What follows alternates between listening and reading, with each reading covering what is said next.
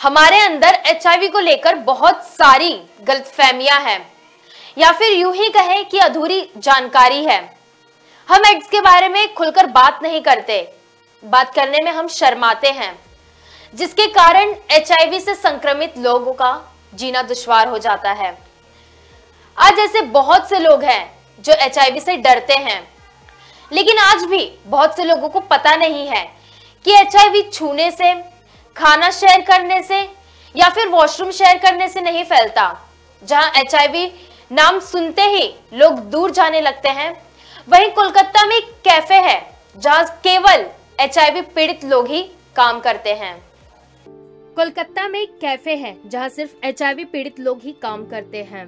HIV यानी कि ads जिसका नाम सुनते ही लोग दूरिया बनाने लगते हैं। नाम सुनते ही वे डर जाते हैं। लेकिन कोलकाता में एक ऐसा ही कैफ़े है, जिसका नाम कैफ़े पॉजिटिव है, जहाँ सात पॉजिटिव लोग ही काम करते हैं। इस कैफ़े का नाम कैफ़े पॉजिटिव इसलिए रखा गया ताकि एचआईवी से पीड़ित लोगों को रोज़गार मिल सके।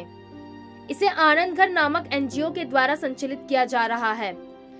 इस एनजीओ को डॉक्टर कल्लोल घोष चलाते हैं। दरअसल वे मानसिक स्वास्थ्य समस्याओं से प्रभावित या एचआईवी पॉजिटिव बच्चों के लिए काम करते हैं। कल्लोल की योजना भारत भर में ऐसे 30 कैफ़े खोलने की है।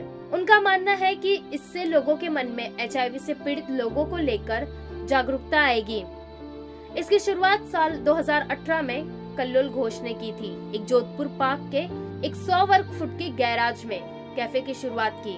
घोष कहते हैं कि इस कैफ़े को स्थापित करने के लिए कई परेशानियाँ आई। उनके पड़ोसियों ने इसका काफ़ी विरोध किया, लेकिन फिर भी वो इसे स्थापित करने में कामयाब रहे। घोष का कहना है कि हमारे कैफ़े को लेकर सभी की प्रतिक्रिया सकारात्मक नहीं रहती। कुछ ग्राहकों को जब पता चलता है कि यहाँ काम करने वाले लोग एचआईवी पॉजिटिव हैं, तो वे उठकर जाने लगते हैं। हम उन्हें समझाते हैं उसके बाद कुछ लोग रुकते हैं और कुछ चले जाते हैं।